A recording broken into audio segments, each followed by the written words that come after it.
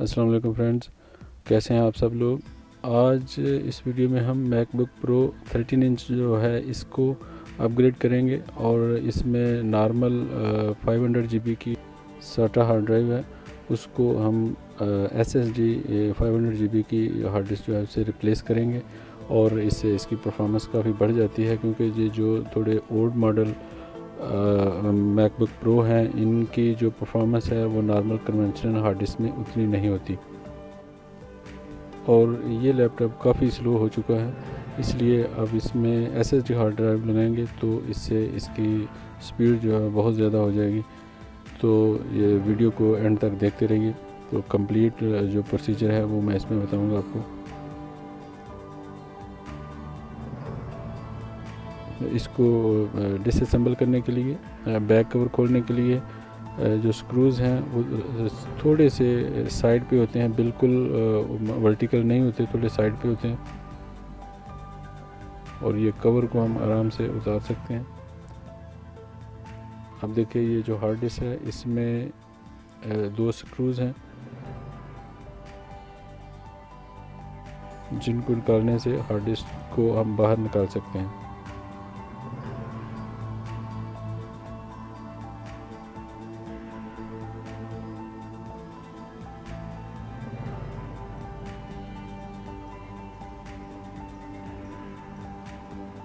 अब ये जो फिटिंग है, इसको उतारेंगे। तो हार्ड डिस्क को इसी साइड से ऊपर करेंगे तो ये बाहर आ जाएगी।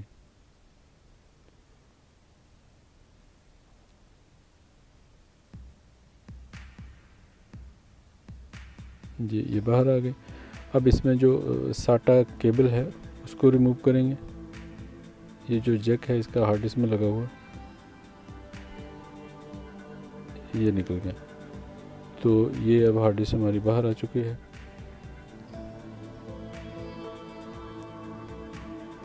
अब जो S S D hard disk लगाएँगे, ये वेस्टर्न डिजिटल की ब्लू सीरीज़ है जिसकी स्पीड काफ़ी अच्छी है और क्वालिटी भी इसकी, आपको पता ही है कि वेस्टर्न डिजिटल जो है, ये अच्छी क्वालिटी के प्रोडक्ट्स हैं इसके। साइज़ जो है, इसका वेट थोड़ा कम होता है थिकनेस भी कम होती है, लेकिन जो वेथ है साइज़ है, वो सेम ही होता है। और ये साटा है।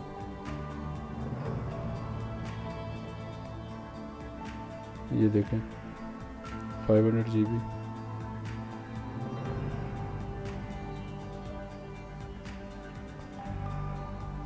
अब ये इसमें एक सेफ्टी पेपर दिया गया है, इसे उतारेंगे।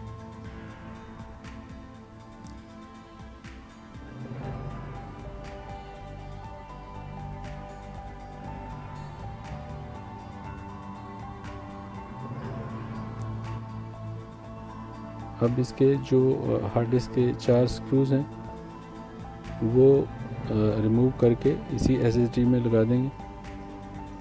तो ये वहाँ पे बैठ जाएगी, उसके अंदर वो टाइट हो जाएगी।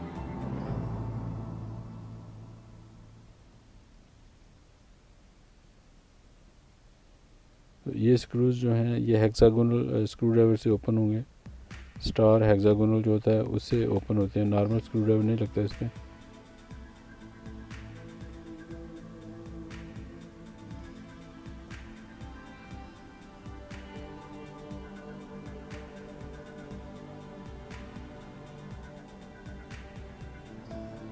और ये इसको चारों जो स्क्रूज़ हैं, ये इसी हार्ड डिस्क को लगा हैं। इनका साइज़ सेम होता है, जो हार्ड डिस्क में लगते हैं, वो भी इसी में एस में भी सेम साइज़ के ही लगते हैं।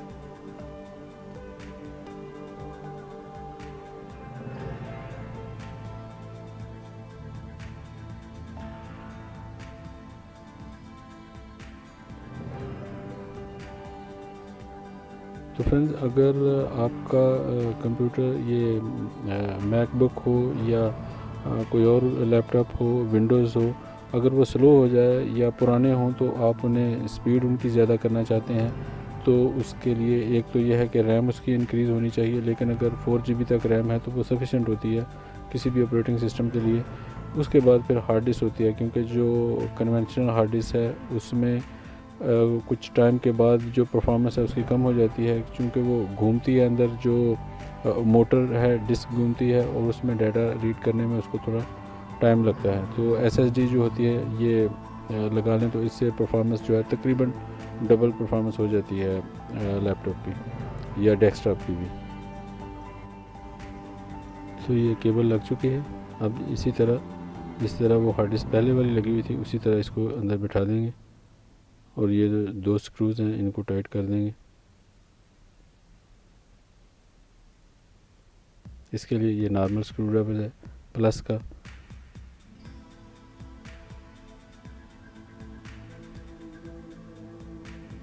जी फ्रेंड तो ये हार्ड डिस्क हमारी लग चुकी है। अब बैक कवर लगाएँगे।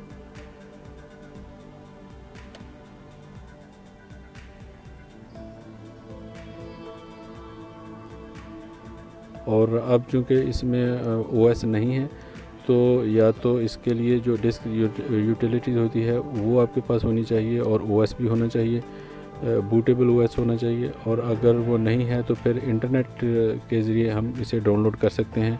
इसके लिए आपके पास वाईफाई होना चाहिए या केबल वाला इंटरनेट जो है इथरनेट वो होना चाहिए।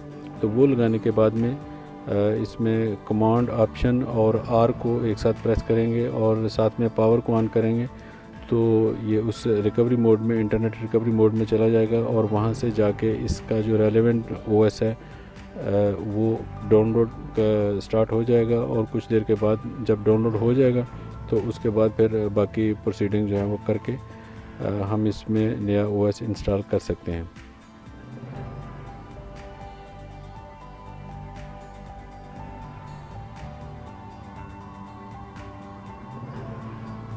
तो जब इसे ऑन करेंगे ये ऑफ़ है अभी तो इसको जो ऑप्शन और कमांड को प्रेस करेंगे और उसके साथ ही जो आर की की है उसको प्रेस करेंगे। तो ये प्रोसीडिंग करने से पहले हमें चार्जर लगा लेंगे क्योंकि उसमें टाइम ज़्यादा लगता है तो इसको पावर ऑन कर लेना चाहिए चार्जर चार्जिंग मोड में लगा लेना चाहिए।